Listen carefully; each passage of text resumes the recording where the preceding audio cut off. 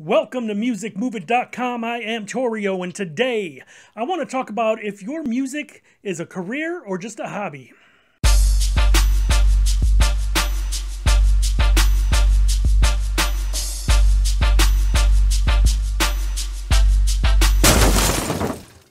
So, I got into a discussion the other day with some of my other associates and other friends about whether a lot of these indie artists just have a hobby, an expensive hobby, or do they actually have a music career going? Now, how do you define this? Well, we all kind of came to the conclusion that if you're not making any money on your music, it must be a hobby.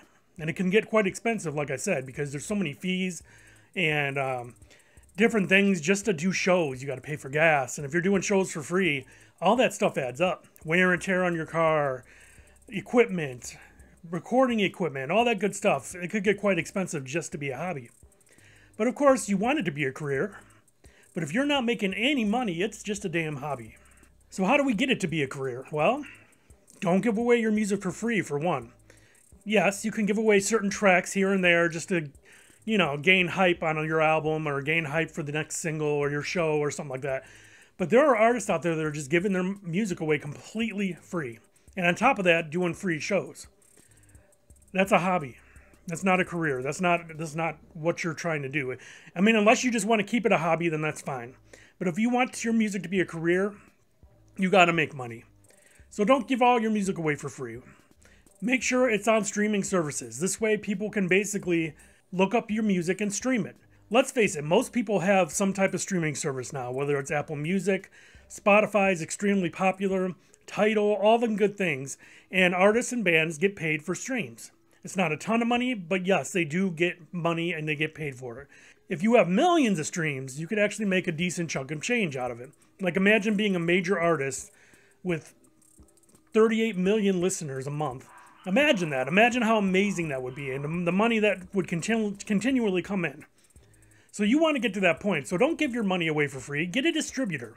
I've done videos on different music distributors before. You should know how to do it by now. Make sure you're on a distributor like DistroKid, like CD Baby, like TuneCore, all them, they will make sure you get on all the streaming services and download services. I mean, downloads are down, but streaming is where it's at right now.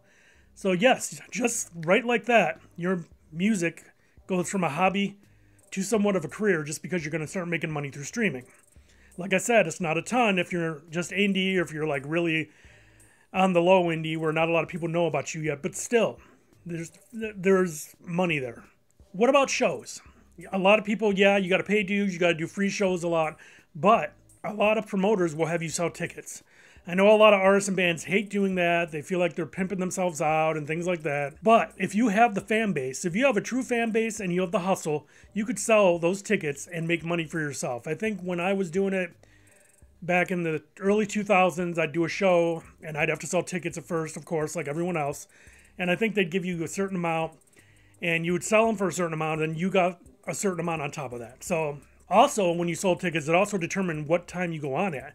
So if you didn't sell really any tickets and you go to the show that night, they'd put you on early as possible. You'd be the earliest one to go on, which sucked because not everybody would be there then. You know how these shows are. A lot of people like to come late. So that would suck. But if you sold your all your tickets out, you would actually make some money off of it. You would go on closest to the top. So it would be later, the full crowd will be there, and it's maximum exposure then. If you know what I mean. So try to do shows like that. If you're not a big enough act to have your own openers and you're you're the main show and you actually get paid, whether it be you get paid some at the door, people coming in, you get some of the ticket sales, whatever it may be.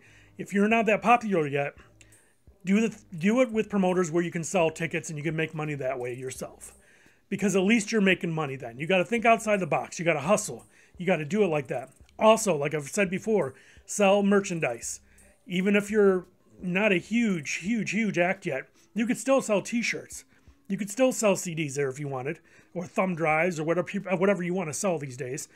And people will probably buy it. When i was an indie artist er, you know around 2000 when I was first starting out, I was still opening an, an, opening act then, and I would bring merch to shows and I would sell stuff, even though I wasn't I wasn't the main attraction. I was just an opening act, and people would still buy because they liked my music and they'd be like, "Oh, I'll buy a T-shirt from you, or I'll buy a CD."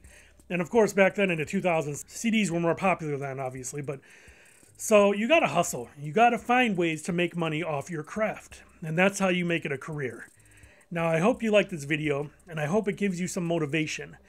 Also, give this video a like, please. Share it so other artists and bands can see it and get motivated off of it. Also, if you haven't subscribed yet, please do so. Hit the bell icon and you'll get notified whenever a new video comes out. I do tons of videos and I have tons of past videos of music business, advice, and tips. So I hope you can appreciate that. Also, look in the description below. There are tons of things you can do and look at, and there's ebooks you can download down there all about music business. There's discounts on services for TuneCore, DistroKid, Bandzoogle, all kinds of stuff down there to help artists and musicians. So go down below in the description, check all that out, and use it. I appreciate you watching, and I will see you next video.